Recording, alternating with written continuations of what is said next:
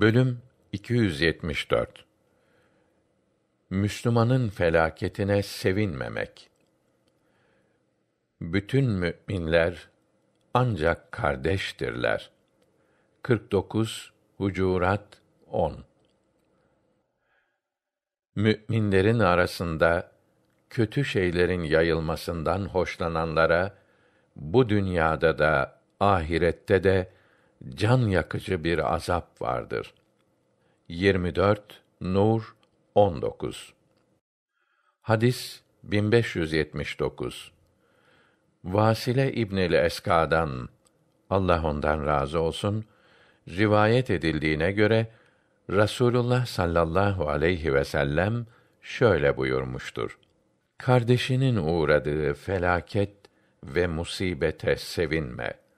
Allah onu rahmetiyle kurtarır da seni derde uğratır.